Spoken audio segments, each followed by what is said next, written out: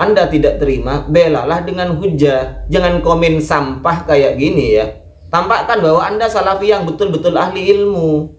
Bismillahirrahmanirrahim. Assalamualaikum warahmatullahi wabarakatuh. Alhamdulillahi Rabbil Alamin Wassalatu wassalamu ala Sayyidina Muhammadin asrafil mursalin Wa ala alihi wa sahbihi ajmain Amma ba'du Ini ada bayi tabung wahabi Yang komentar di channel saya Yang kepanasan karena ustadznya banyak saya kritik. Nama channelnya Amina Gono. Entah cewek apa cowok ini ya. Aminah Gono dia komentar di salah satu video saya tentang ajakan diskusi terbuka untuk ustadz-ustadz wahabi. Saya baca dulu komentarnya. Idrus Ramli Abdul Samad Ar-Rasi itu sudah diundang diskusi tapi pada ngeles semua. Kalau ini kecoa-kecoanya yang sok-sokan ngajak diskusi, mending belajar dulu banyak-banyak. Eh, Pak atau Bu Amina ya, kalau Anda kepanasan, karena ustadz-ustadz Anda yang sudah banyak bergelar doktor, MA, paling sedikitnya LC itu banyak kami kritik, yang kritik itu orang-orang bawah, selevel kami masih itu. Kalau Anda kepanasan, bantahlah, belalah ustadz anda itu kalau anda tidak terima, belalah dengan hujah. Jangan komen sampah kayak gini ya. Tampakkan bahwa anda salafi yang betul-betul ahli ilmu. Kami mengkritik Abdul Somad kalau salah kami kritik. Lihat di channel saya, ada Abdul Somad saya kritik. Terus Ar-Rosi banyak lihat di channel saya, saya kritik Ar-Rosi itu. Disangka kami itu pengagum figur tidak kami itu yang betul kami ikuti, yang salah kami kritik siapa pun. Ingat ini Bu Wahabi atau Pak Wahabi ini ya, Amina Gono ini. Dan sampai jangan buat fitnah. Tidak mungkin kalau Idrus Lamli diundang untuk diskusi, tidak mungkin tidak hadir. Yang ada malah Wahabi. Kan banyak videonya itu yang ada malah Ustadz Wahabi itu yang kabur ketika saat diskusi dan di Sumeneb ini pernah Idrus Ramli dan Ustadz Wahabi ini diundang oleh panitia dan si Ustadz Wahabi ini kabur di tengah jalan loh. Terus komen kedua Anda ini buang-buang energi debat dengan orang bodoh. Debat sama orang bodoh. Udah dari dulu salafi diskusi dan al dan ahlu bid'ah susah tobat karena iblis sangat mencintai pelaku bid'ah. Bu Amina atau Pak Amina ya kalau laki-laki Pak kalau perempuan saya panggil Bu Anda ini Anda bilang ahlu bid'ah kepada kami. Oke tidak apa-apa. Tapi sebenarnya Anda ini yang ahlu bid'ah cuma tidak merasa. Baik begini saja. Kami para youtuber aswaja yang saat ini mengajak para ustadz-ustadz wahabi ini untuk diskusi terbuka baik via online atau offline ini tujuannya agar umat ini paham. Agar umat ini paham bahwa mereka itu selalu berdusta dan banyak kesalahannya. Biar tidak disangka apa yang disampaikan tuduhan mereka itu selalu benar. Apa yang dituduhkan kepada kami ternyata itu hanyalah dusta belaka bohong. Maka kami seputar yang mereka sampaikan dan kami anggap salah, saya kritik. Nah, kalau memang Ustadz Anda ini merasa benar, kalau memang ustadz Anda, ustadz-ustadz antum yang sudah bergelar doktor MALC itu sudah merasa benar dan kritikan kami yang dianggap salah, tolong tanggapi respon permintaan kami para youtuber aswaja yang hanya anda sebut kecoa-kecoa itu ya. Atau boleh jadi anda lah tidak apa-apa. Kalau anda siap mengganti ustadz anda untuk diskusi silahkan jadi tentukan temanya temanya yang itu yang seputar yang kami kritik terhadap Ustadz Anda. Yang kami sampaikan kritikan kami ini kepada Ustadz Anda.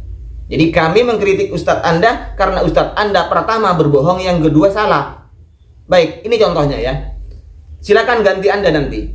kalau Ustadz Anda sudah pada ngacir, Ustadz-Ustadz Anda pada tidak mau karena untuk menghadapi kecoak-kecoak seperti kami, seperti kami, kalau Ustadz Anda sudah tidak mau, entah kurang gentle atau gimana, silakan ganti Anda kalau mau diskusi dengan kami. Tapi seputar apa yang kami kritikan terhadap mereka, biar tidak melebar ke sana kemari. Yang pertama, Ustadz Dahrul Palihin LC. Ingat Pak Bu Aminah ya, Ustadz Dahrul Palihin LC yang sudah bergelar LC, LC, lucu atau gimana ini, yang sudah menimba ilmu di Timur Tengah ini, lihat apa kesalahannya. Yang kami kritik si Ustadz Dahrul Palihin LC ini adalah kunna na'udul ijtima wason to'am. Ini yang kami kritik. Salah baca padahal sudah lulusan Timur Tengah dan bergelar LC, tapi baca kitabnya bahasa teks Arab saja sudah salah dan keliru. Ini kunna na'udu padahal yang betul na'udu wason ot son o dibaca son o ini ini yang saya kritik jadi dua kesalahannya ini yang saya kritik. Silakan anda bantah ini. Sampaikan kepada ustadznya atau kalau ustadznya tidak mau sampean ganti. Buat video tanggapi saya.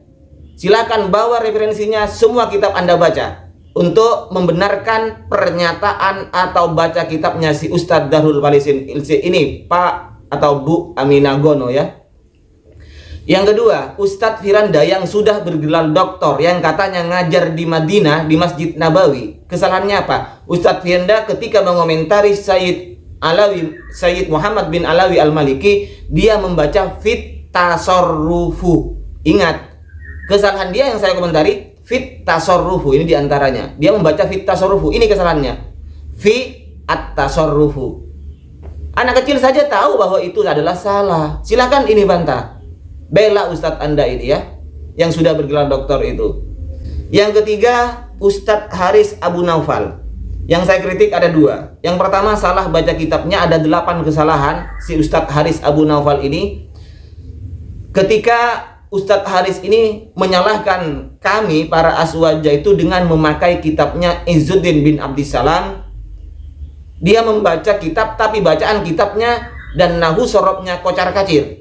Yang pertama, dia membaca li anna min haqiqatil bid'ati alla yadullu alaihi dalilu syar'i. Yadullu. Sudah ada an di depannya dibaca yadullu. Ini pertama kesalahan si Haris Abu Nawfal ini. Yang kedua, Innal bid'ata allati qasadaha Al-Iz bin Abdissalam hiyal bid'ati fil lughah. Dia membaca hiyal bid'ati fil lughah. Dua kesalahannya. Yang ketiga, dia menerangkan tanda-tanda fi'il itu tidak menerima al. Mana ada takrif yang seperti itu? Mana ada definisi fi'il yang menerangkan bahwa tidak ada bahwa tanda-tandanya fi'il itu tidak dapat menerima al dan tanwin. Kalau ciri-cirinya seperti itu kan sama dengan kita itu apa ciri-ciri mobil? Ciri-ciri mobil tidak ada sayapnya. Apa ciri-ciri sepeda motor? Sepeda motor tidak ada sayapnya juga seperti itu. Ini kan takrif dari Hong Kong namanya kalau seperti ini. Terus yang keempat, kesalahan si Haris Abu Naufal Ustadz Antum itu. Dia menasrif dhahaba yadhabu yadhab. Tasrifan dari mana itu? Ya, dia membaca dhahaba yadhabu yadhab. Yang kelima, dia salah membaca juga kaidah yang sudah masyhur. Dia membaca la yutimmu la yutimmul wajib illa bihi fahuwa wajibun. La yutimmul wajib illa bihi fahuwa wajibun. La yutimmu ini dari mana? Kaidah dia membaca la yutimmu dari mana? Silakan anda komentari ini. Buat video saya tantang anda diskusi dengan saya. Buat video silakan bawa referensinya kitab apa yang benarkan seperti itu. Yang keenam dia menjelaskan bahwa sesuatu yang terkena pekerjaan artinya menjadi maf'ul b apabila mufrad maka harus dinasabkan. Pikir nahu dari mana yang dipakai itu? Sok-sok ngajar nahu tadi salah. Bukan hanya mufrad yang harus dinasabkan kalau jadi maf'ul b itu. Tasnia ataupun jamak semuanya harus dinasabkan mas bro. Baik itu di antaranya yang saya kritikan terhadap si Haris Abu Naufal. Ini kesalahan baca kitabnya yang kedua Ustadz Haris Abu Naufal ini saya kritik karena dia berbohong atas nama Izzuddin bis Abdissalam.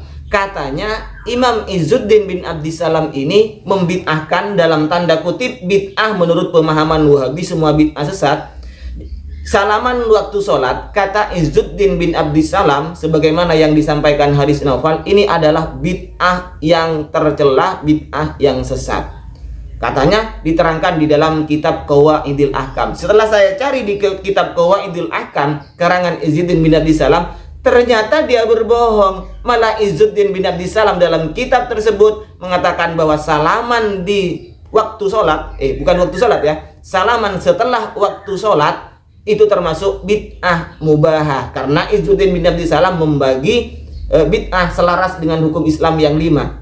Wajib haram sunnah makruh mubah. Jadi contohnya di sana ternyata itu adalah membaca absalaman setelah sholat salaman. Ini termasuk bid'ah yang mubah. Dan Ustadz Anda si Haris Abu Nawfal ini mengatakan bahwa Izzuddin bin Abdi Salam mengatakan ini bid'ah yang dilarang bid'ah yang tercela. Terus yang saya komentari juga adalah si Farhan Abu Furaihan yang bergelar LC juga ini ya. Dia berbohong. Dua imam di kalangan kami, dua imam. Yang pertama Imam Syafi'i, yang kedua Imam Nawawi rahimahullah, pengarang kitab Majmu'. Dia berbohong atas nama mereka berdua. Katanya yang pertama Imam Syafi'i tidak melafatkan niat. Setelah saya bongkar kesesatannya, ternyata yang diruyatkan oleh Rabi dan tertulis dalam kitab Al-Mu'jam karangan Ibnu Mukri ternyata Imam Syafi'i mengatakan niat talafut biniat setiap mau sholat yang kedua dia berbohong atas nama Imam Nawawi katanya Imam Nawawi itu menyalahkan para ashab Syafi'i para a'immah Syafi'iyah yang melafatkan niat setelah saya cari di kitab-kitab Imam Nawawi di antaranya adalah di kitab Majmu' itu Syarah Muhadab kitab Majmu' karangan Imam Nawawi ternyata di situ ya Imam Nawawi itu mensunnahkan menganggap istihbab mutalafut bin niat. Lah, apa ini tidak berbohong namanya, Bos? Apa ini tidak berbohong namanya? Bohong itu dusta, bid'ah hanya tahunya Anda itu. Padahal itu ada berbohong, ustadz Anda itu berbohong, itu dosa loh. Masih mau diikuti orang seperti itu.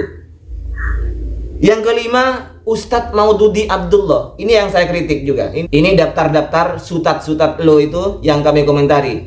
Ustadz Maududi berbohong katanya tidak seorang pun sahabat yang mencium tangan dan kaki Rasulullah Shallallahu Alaihi Wasallam. Rasul, Rasul, Rasul. Sampai ada pidatonya seperti itu. Makhluk termulia di muka bumi ini tak seorang pun para sahabat yang mencium tangan dan kaki beliau. Ini dusta bos, dusta banyak riwayat yang menjelaskan bahwa sahabat itu mencium tangan Rasulullah Shallallahu Alaihi Wasallam. Tapi anehnya si Maududi ini malah mencium jidat buaya. Lihat ini videonya. Maududi mencium jidat buaya.